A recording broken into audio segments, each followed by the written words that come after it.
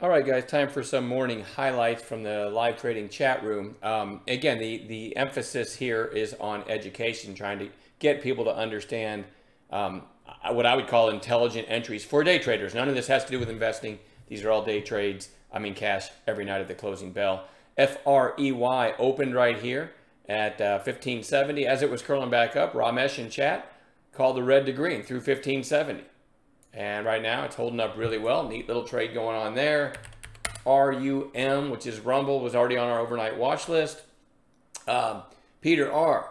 pointed out the um, high of day break right here, or the I should say red to green. I'm sorry, it, they're very close to each other. It opened at 1290, so the, high, the, the red to green is 1291. High of day 1295. So I'm gonna like that entry because if you get the red to green, probably gonna get the high of day break and Rumble's uh, being watched by a lot of traders. So you can see now it's up, you know, a nice, what, 70 cents or so.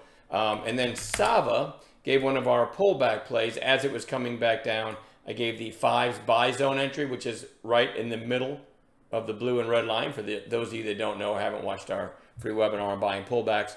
Right, right about where my cursor is. That's middle of fives buy zone. And now we're hitting new highs for the day. So there's a few highlights from the morning, and I'm done bad one.